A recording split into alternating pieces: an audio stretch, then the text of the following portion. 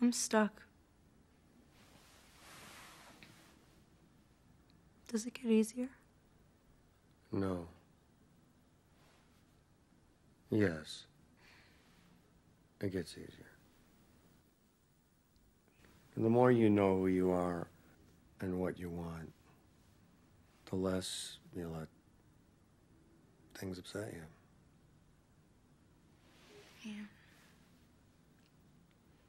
I just don't know what I'm supposed to be.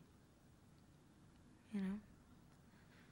I tried being a writer, but I hate what I write.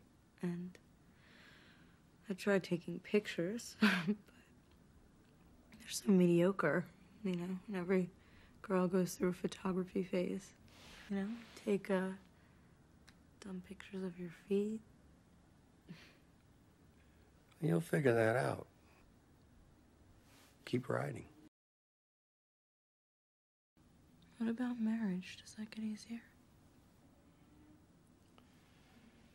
That's hard. We used to have a lot of fun.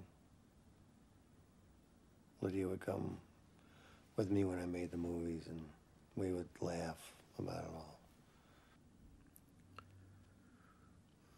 Where'd you grow up? Um, I grew up in New York.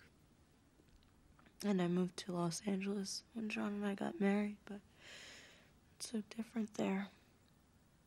Yeah, I know. John thinks I'm so snotty.